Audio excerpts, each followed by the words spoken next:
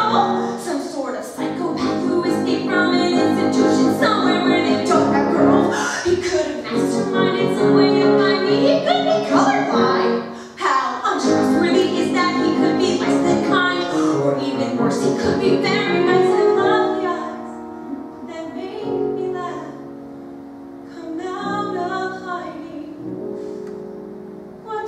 do.